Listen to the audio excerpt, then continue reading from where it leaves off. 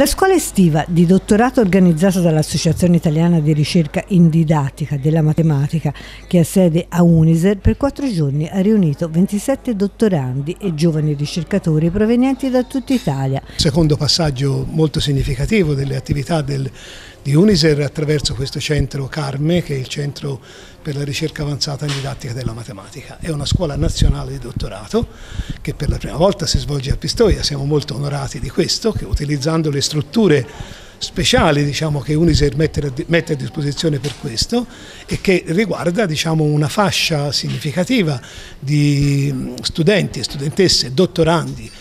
giovani ricercatori, insegnanti ricercatori che trovano in questa scuola alimento, motivo, conoscenze, formazione, discussione per quello che riguarda il loro futuro di insegnanti o di ricercatori in quest'area così delicata, la didattica dell'apprendimento della matematica. La scuola raccoglie studenti da tutta Italia, eh, dottorandi e magari giovani studenti che hanno appena finito insomma, il loro percorso di, di dottorato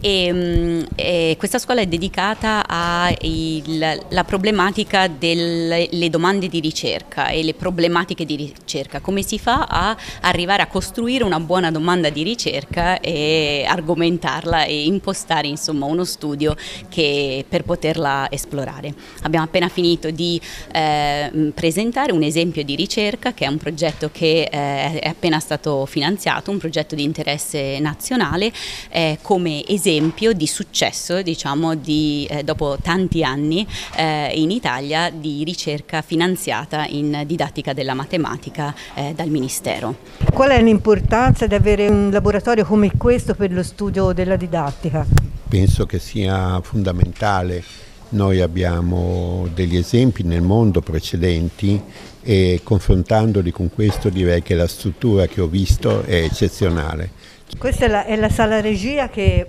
praticamente tutto quello che fanno gli studenti viene monitorato. Viene monitorato ciascun gruppo di studenti e poi eh, è possibile identificare un gruppo che sta lavorando in maniera particolarmente interessante e allora le telecamere ci consentono di fare uno zoom sul gruppo e di catturare quindi l'attività di quel particolare gruppo in modo più puntuale.